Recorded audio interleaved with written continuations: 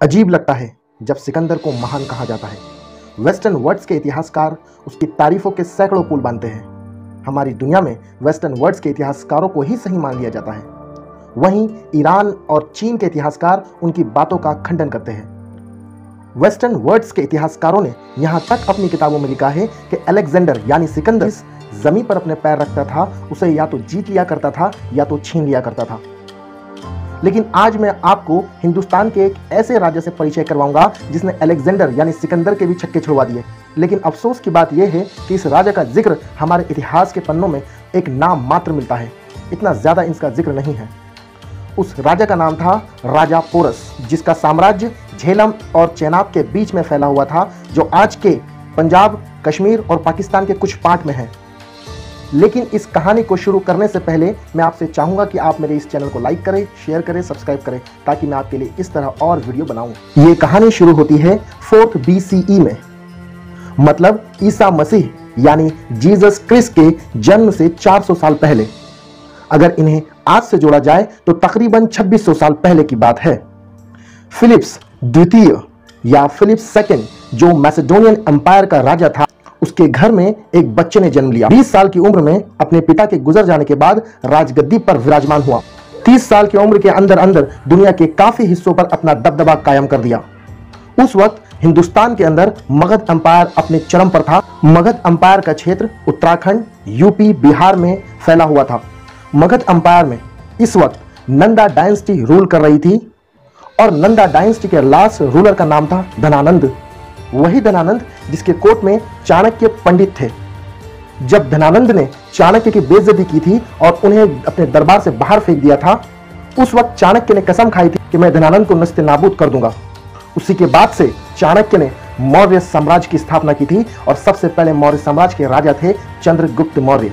तो सवाल यही आता है, जब अलेक्जेंडर ने हिंदुस्तान पर आक्रमण किया था तो वो झेलम नदी के पास से ही क्यों वापस लौट गया था? उस वक्त तो हिंदुस्तान का सबसे बड़ा साम्राज्य एग्जिस्ट करता था, जिसका नाम था मगध अंपायर वहाँ तक तो अलेक्जेंडर यानी सिकंदर तो पहुँच भी नहीं पाया तो फिर उसे महान किस लिए कहा जाता है? अलेक्जेंडर ने ईरान को अपने कंट्रोल में लेने के बाद हिंदुस्तान का रुख किया। वेस्टर्न वर्ड्स के इतिहासकार लिखते हैं, जब अलेक्जेंडर ने हिंदुस्तान का रुख किया, कई राजाओं ने उसके डर से उसके आगे आत्मसमर्पण कर दिया। अंत में अलेक्जेंडर, यानी सिकंदर, पाकिस्तान के एक शहर तक्षशिला तक आ पहुँचा, जो आज पाकिस्तान में पंजाब का एक इंपॉर्टेंट शहर माना जाता है। उस वक्त उस राज्य का, उस शहर का शासक अंबी नाम का राजा था, जिसने बिना लड़े अलेक्जेंडर के सामने आत्मसमर्पण कर दिया।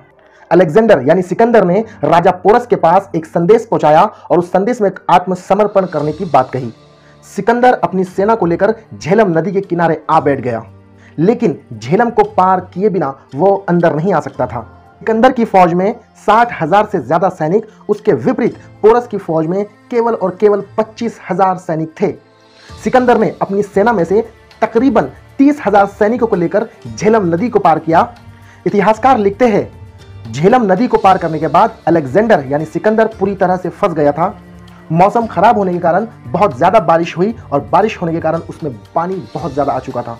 जब पोरस को यह बात मालूम पड़ी कि अलेक्जेंडर यानी सिकंदर ने झेलम नदी को पार कर लिया है तो पोरस ने अपनी एक सैनिकों की टुकड़ी को अपने बेटे के लीडरशिप में फाइट करने के लिए आगे भेज दिया, जिसमें सबसे ज़्यादा हाथियों की संख्या थी।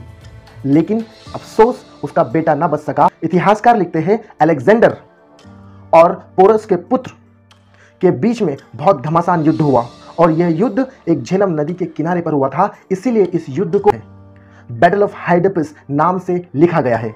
इस युद्ध में, इस युद्ध में अलेक्जेंडर की सेना ने पोरस के पुत्र की हत्या कर दी। जैसे ही यह खबर पोरस को पता चली पोरस ने अपनी अगेन एक टुकड़ी को भेजा और फिर यह फाइट अगेन से स्टार्ट की गई। वक्त बीतता गया पोरस खुद अपनी एक टुकड़ी लेकर अलेक्जेंडर से झेलम के किनारे पहुँचा और अलेक्जेंडर से आमने सामने युद्ध किया। काफ़ी इतिहासकारों की इस पर अलग अलग राय है। कोई कहता है कि पोरस को अलेक्जेंडर ने मार गिराया था। कोई कहता है कि पोरस ने अलेक्जेंडर को किडनैप कर लिया था। सबकी अपनी अपनी राय है। इसमें काफ़ी विवादित पॉइंट्स है। सब इतिहासकार अपना अपना पॉइंट ऑफ़ व्यू अलग अलग तरीके से रखते हैं। लेकिन इस युद्ध का अंत अगर हम समझे तो हम इस तरह से समझ सकते हैं कि अलेक्जेंडर यहाँ से वॉर करने के बाद या बैटल फाइट करने के बाद वापस अपने राज्य ग्रीस चला गया था। लेकिन इस बात को हम इससे समझ सकते हैं, पोरस से युद्ध करने के बाद अलेक्जेंडर हिंदुस्तान से ग्रीस चला गया था और दो साल बाद मतलब 32 वर्ष की आयु में उसकी मौत हो गई थी। इससे यह साबित होता है कि अलेक्जेंडर ने अगर झेलम को क्रॉस कर लिया था तो वो आगे क्यों नहीं बढ़ा? वो वहाँ से वापस क्यों चला गया? क्योंकि उसे महसूस हो गया था, मुझे यहाँ पर जीत हासिल नहीं हो सकती।